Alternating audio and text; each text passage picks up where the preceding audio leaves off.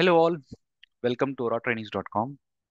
In this session, we'll discuss about how do we customize a standard agent. We'll just check the quick recipe. How do we create or how do we customize the existing standard agent? Okay. So let's see the steps. There are just four steps involved in customizing a standard agent. So the agenda for this session is how do we get a standard agent, copy the template. We generally call it as copying the template and then you just modify it and run it. Okay, that is our agenda for this particular session.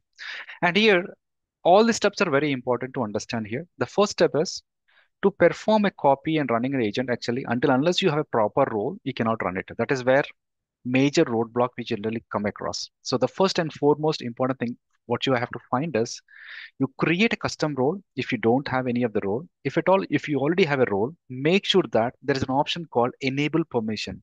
This is a new field which came for the purpose of agents. Okay. So get your existing agent, get your existing custom role. If you already have it, enable the permission checkbox. Once it is done, then go to the agent studio, search a procurement policy advisor agent. In our, in our session today, I'm copying this particular template. If you want to perform the similar operation on any other agent, yes, it should work. So maybe in your case, let us say if you don't have any other particular agent in mind, maybe just make use of this one, procurement policy advisor agent, perform a copy template, give a suffix. Generally, what will happen is when you perform a copy template, so you can't totally rename the total name of your agent, but what you can do is you can just give a suffix. You can give a short name of your organization, short name of your name, or anything like that. You just give a short name. And then once you perform a copy, this particular code will get opened in the edit mode in the agent studio. There we have two more very important properties which you have to set it. The first one is the security roles. You have to add up any of the security role and then the questions, if at all, if your agent is having on the standard one, it may not be copied. You have to explicitly mention them and then our agent is ready to run. Let us see the screens also, and then we'll just perform the real demo. So this is the first screen which I was talking about. When you are opening the existing role, or maybe if you create a, any new role, make sure that this particular enable permission button or checkbox is enabled. Okay, this is a first step prerequisite. Next one is you go to Agent Studio, search for the agent which you want to perform a copy. I'm in my, you know, in my case, I'm just searching the procurement policy agent. You have to click on this particular icon, which performs a copy. Once you click on this icon, it will provide you a pop-up called providing the agent team suffix. You just, in my case, I provided Airtel. You can go with your own specific suffix and then click on continue. Once you click on continue, it will go to the third step. This is where the agent gets opened in the agent studio editor. So this is our agent studio and this is editor. The procurement policy advisor, the suffix Airtel got opened in a draft mode. And here there are a couple of settings we have to change. So I was, as I told you, there are two settings, right? One is a security role, other is a question. So here you can see there are two icons. This triangular, right? This triangle icon is for the purpose of running the agent. And this gear icon, the next icon is called gear icon, which is for the purpose of providing the settings on the agent. So once you click on the gear icon, you'll have an option. You can see there are four tabs, right? Details and LLM, you does not need to change anything. And security, very important one, you can select any of the role as of now, whichever role comes, you just simply select it because without having in without having a role assigned to your agent, the agent will not work. Okay. If at all, if dropdown comes, if any agent comes, better select some agent role and then make use of it. So why we are not concentrating on that one is see, initially we just want our agent to run, right? Maybe later on you can add up the appropriate role, set the appropriate security and all those things. But for now, if role comes, just select it.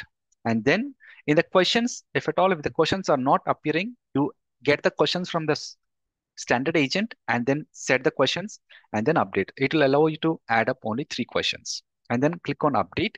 Once you perform the update, the last step is running your agent. You just click on this icon. It may ask you the question. I just set only one question. That's why it was just asking me only one question. I selected the question and it provides a result. That's it. Our agent is ready to run. So now we'll just see the real demo of these all steps which I discussed one by one. So I'm in my agent studio now. And before that, the first step, let me show you the role which I was talking about. So let me show you that one minute. So, okay. Yeah. So this role and this this is what I was talking about. Enable permission group. Okay. Very important property. And now once your particular role is done, go to the second step, right? So I'll just close this one. Let me go to Agent Studio, click on Home, Tools, AI Agent Studio. And then you search for the agent. So this is a home page for the list of standard agents which are available. This is called Agent Studio. You search with the name procurement policy and it shows this option, hopefully. You click on this particular option called copy template and then you just mention any of the name. Let's say LXSI, LXSI. Click on continue. Now our agent got opened in the agent studio. And the next thing is you just click on this gear icon. And here you can see the default properties which got from standard template, LLM is a default, you can't change it. Click on questions. As I said you, it will not copy the question. So I just already made a note of the three questions which were available on the standard template. So I'll just keep here.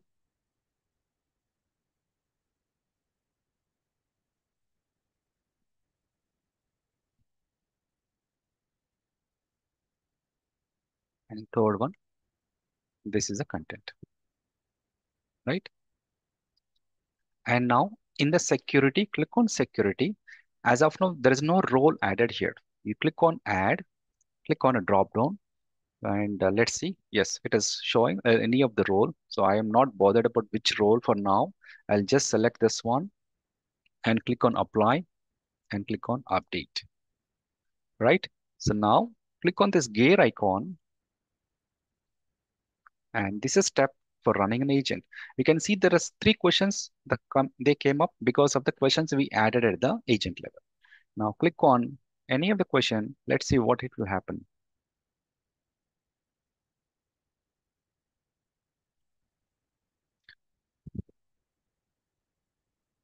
So this particular pop-up, right, which you see in the color fashion, this will not be shown to the end user in real time. So this is only for the agent admin. So the way we are running now as an agent admin, because agent admin can only create a new agent, right? Not for the end user. So now we are in the agent admin mode, wherein we have agent studio access. We have created an agent. We are running it. So this running one, so while running it, it will clearly tell you, you provide an input. What is the way it is providing the sequence of execution? This is how it provides, this is your input, this is output. Whatever the output which is there here, this is the final output which will be shown to the end user. Okay, so this is how we can perform a customization or a copying the existing agent studio. In the next session, we'll explore some more functionalities of the agents. Okay, thank you.